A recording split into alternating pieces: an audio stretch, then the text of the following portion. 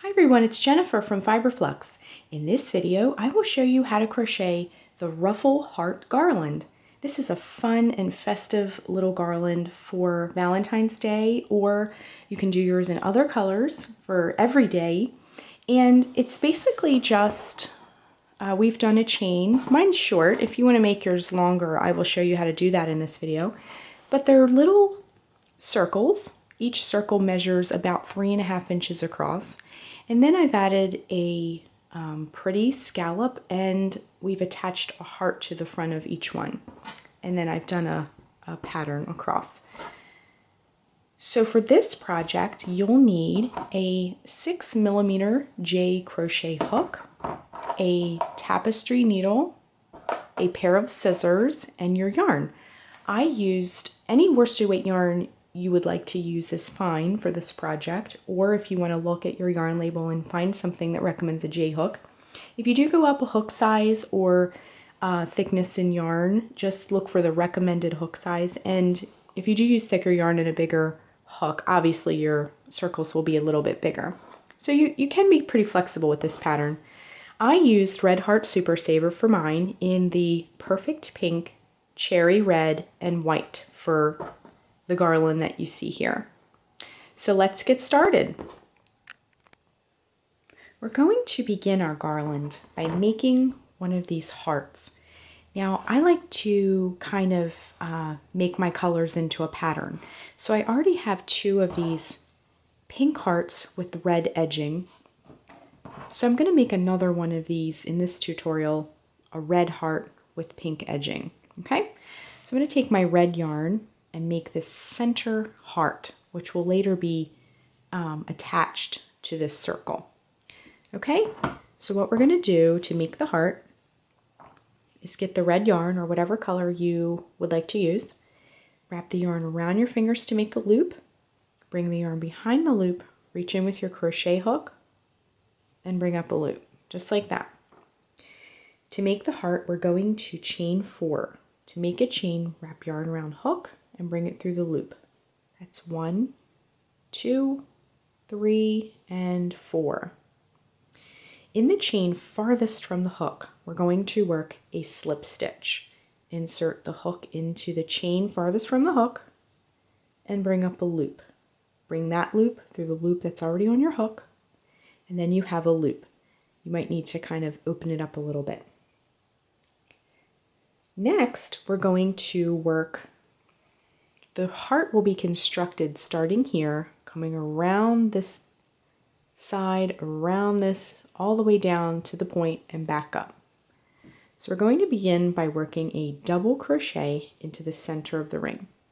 To make a double crochet, wrap yarn around hook, insert it into the center of the ring, bring up a loop. Wrap yarn around hook, bring it through the first two loops, wrap yarn around hook, bring it through the last two loops. If you want to practice some stitches, this heart is a great project. Next, we'll make a treble crochet into the center of the ring. Wrap yarn around hook two times, insert the hook into the center of the ring, bring up a loop. Wrap yarn around hook, bring it through the first two loops. Wrap yarn around hook, bring it through the next two loops. Wrap yarn around hook, bring it through the last two loops. And if you notice, I'm kind of pushing my stitches over. We're going to put lots of stitches into the center of the ring. Work another double crochet. Then we'll work a slip stitch. Insert the hook into the center of the ring, bring up a loop. Bring that loop through the loop already on your hook. And then we have our first side of our heart. We're going to do the same thing work a double crochet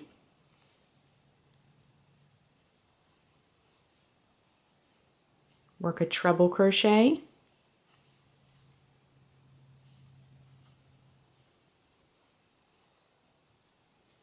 and another double crochet into the center of the ring. Next, we're going to work three single crochets to come down the side of our heart. Insert the hook into the center, bring up a loop. Wrap yarn around hook, bring it through both loops. That's one, two, and three. Okay, so the side of our heart is done. Now we're going to do the bottom point, and that's going to be worked by doing a treble crochet. So wrap yarn around hook twice, insert it into the ring, bring up a loop.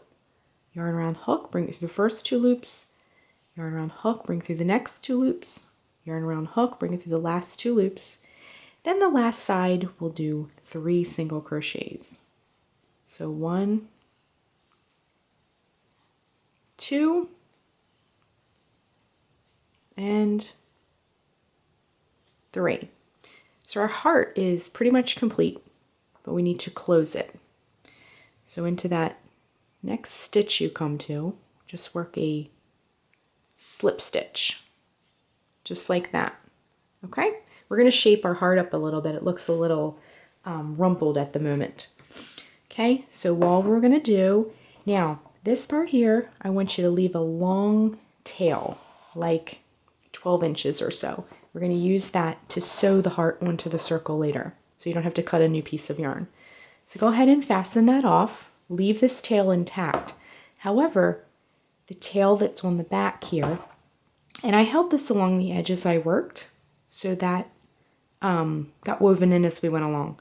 So take this tail, pull it tightly, and trim.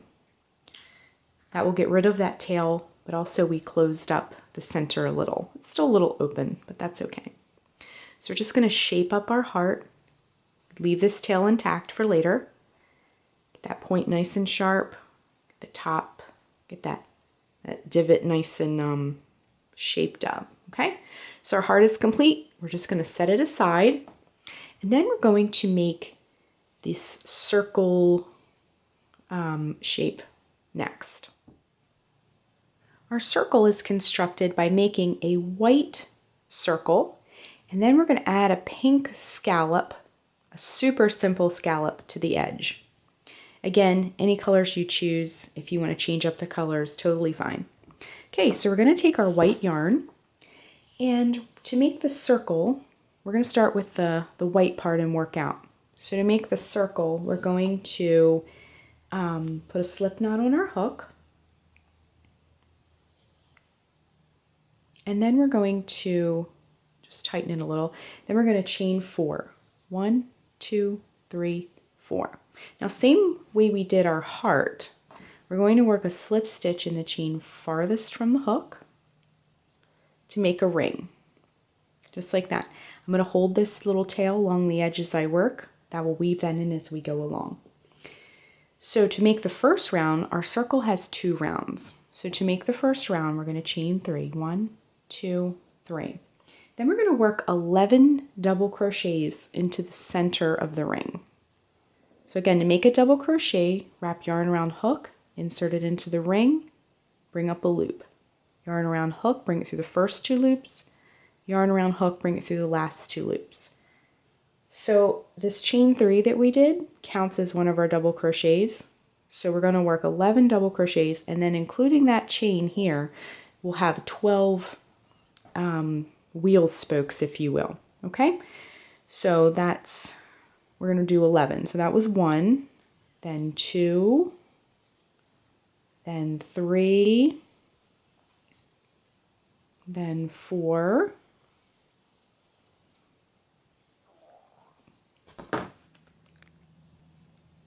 then five, six, seven,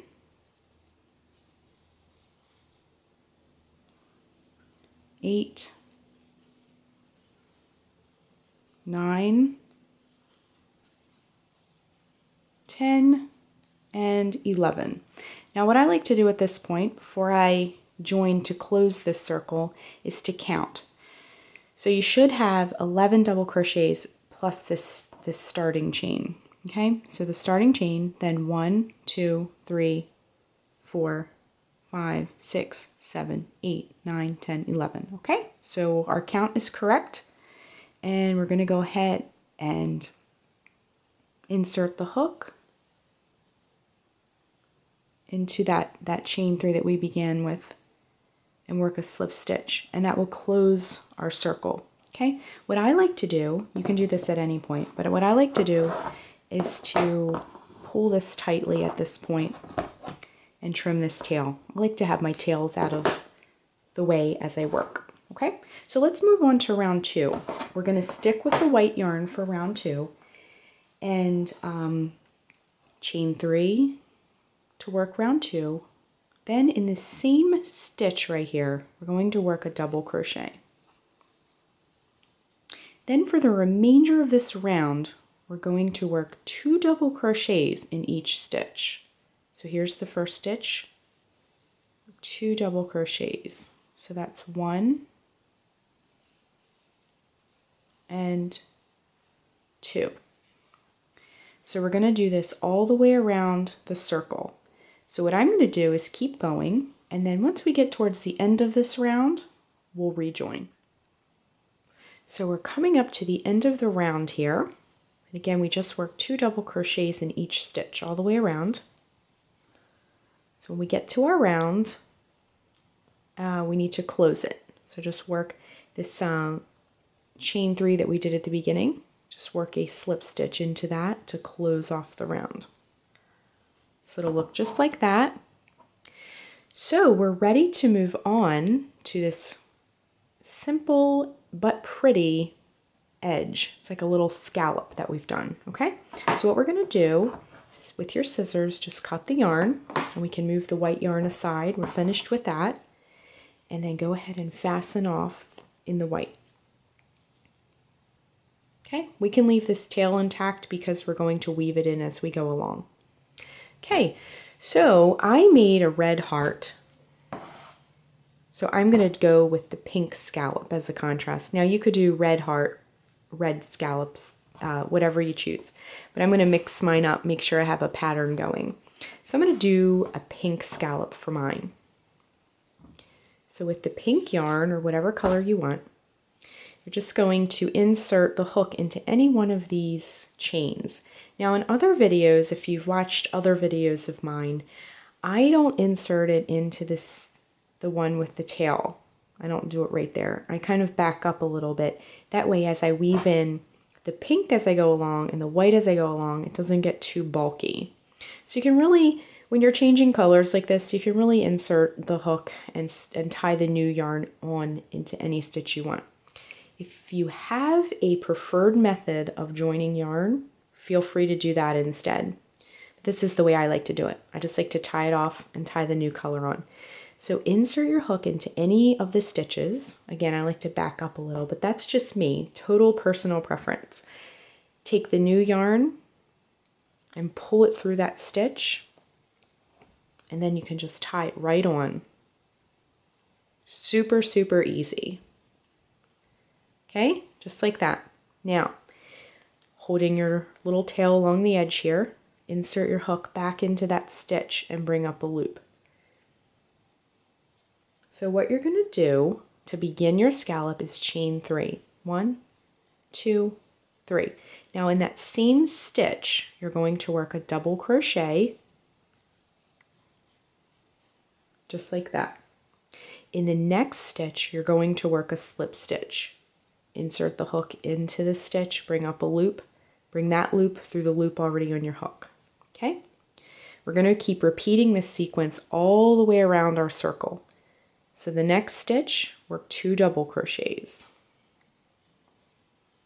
Because this chain three when we begin counted as one of the double crochets. So the next one you'll work two double crochets. So two double crochets slip stitch into the next stitch. Into the next stitch after that, work two double crochets. Again, we're holding our tails in as we go along.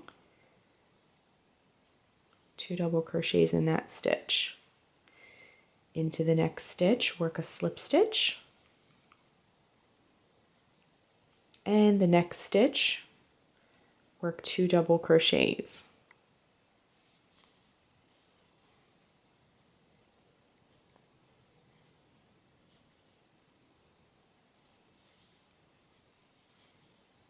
Okay, let's see what we have so far. Our scallop is starting, you might need to straighten it out a little.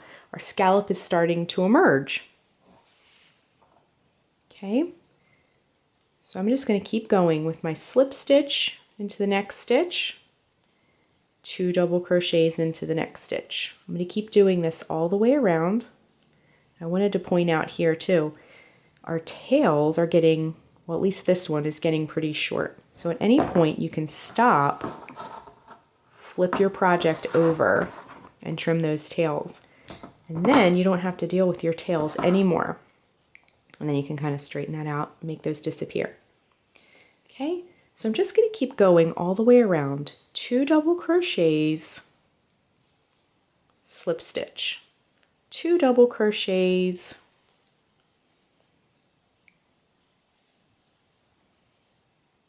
and a slip stitch, okay? So I'm just going to keep going and we're going to rejoin in just a moment.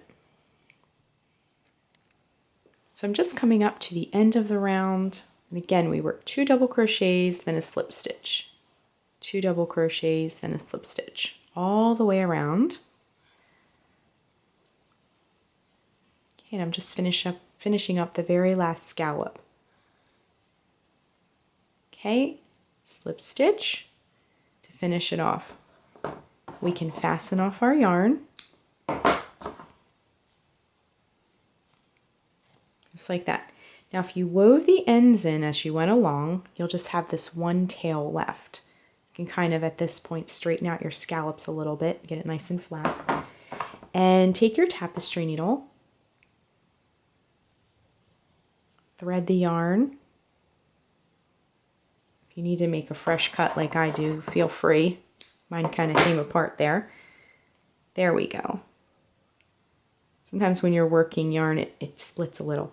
Okay, so then you're going to weave it in. And I wanted to give a tip that when you're weaving in um, a project that has multicolors, always weave the same color into the same colors. For example, I'm weaving the pink into the pink. I'm not going into the white area because it uh, could potentially show through onto the other side. Okay, so I just wove that in. We're to trim. If you notice, I wove in one direction and then came back in the other direction. Okay, so we're just to get that all nice and straightened out. Then you'll grab the heart that we've made earlier. Trim if you need to. Thread your tapestry needle.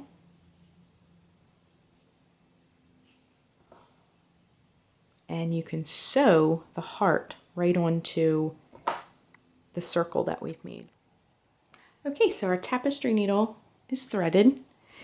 Just position your heart the way you want it to go and then just go right down into the circle. Come up and go back down. You're going to do this all the way around the heart just to quickly sew it on.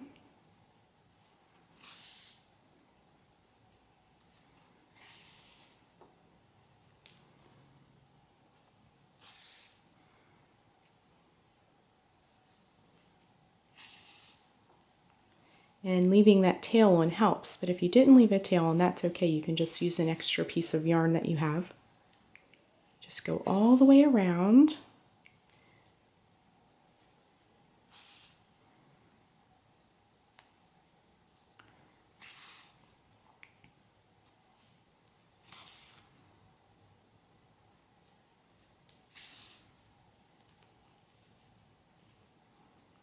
So our heart is attached. So then you can just come in from the back here like this, make a loop, bring your needle through the loop to make a knot. Okay, then you can just kind of weave that in a little bit. This is going to be the back side of our garland, so we're not going to see it a whole lot.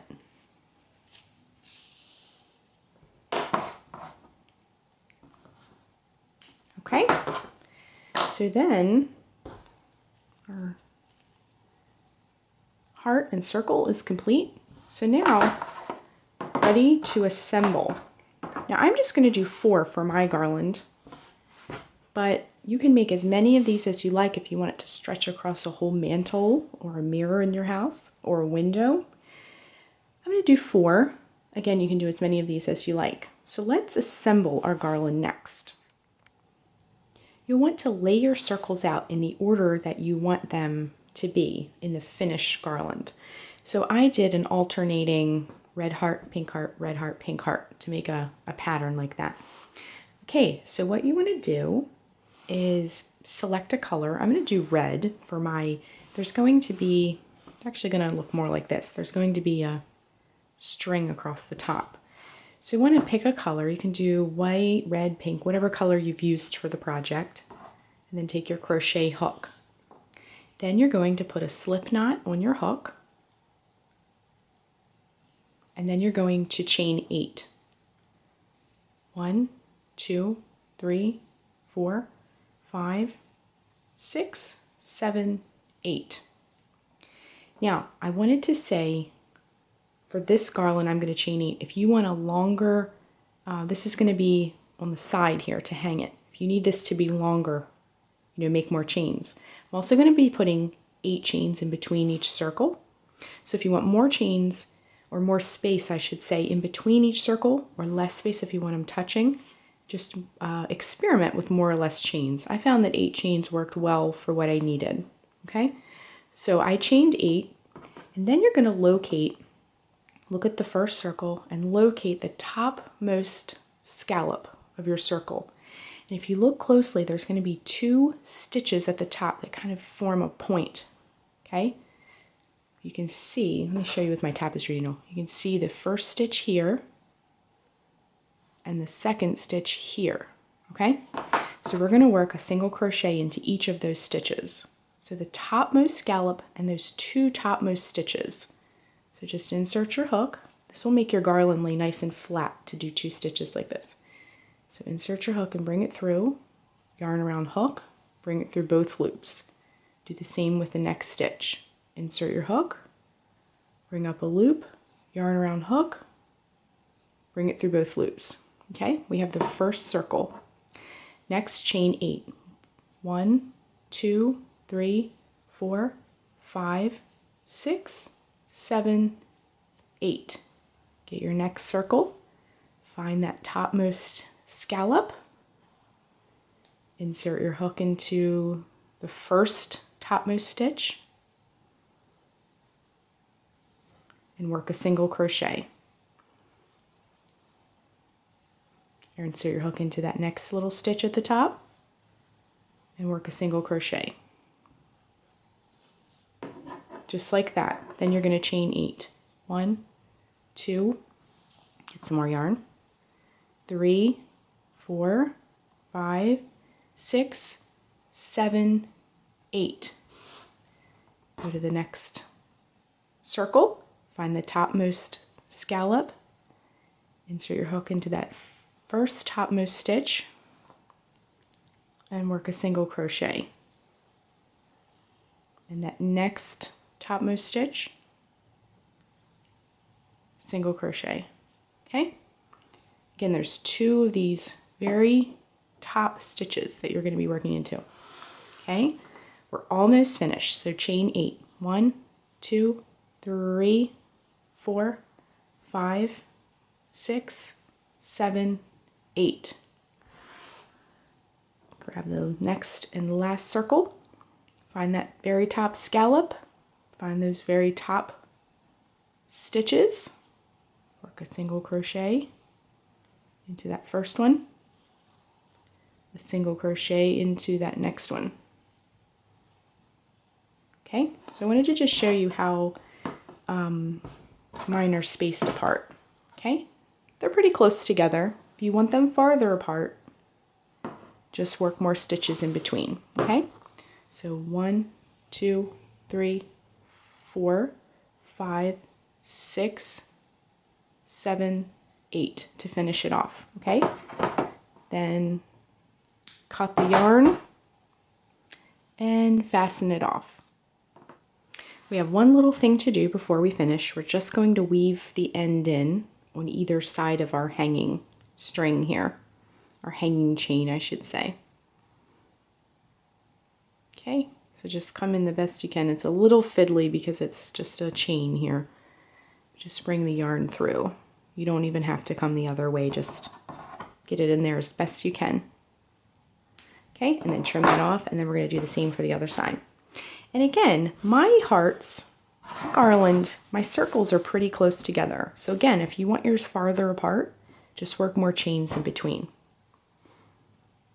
Okay, and then we're just gonna do the same for the other side. So just kind of weave that in the best you can. Pull that through.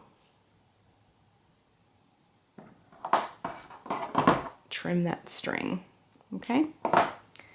Okay, so it's looking pretty good, very festive for Valentine's Day. Okay, so that is how you crochet the ruffle heart garland. Thanks so much for watching and be sure and click the red subscribe button to get all the latest Fiber Flux video updates. Thanks again.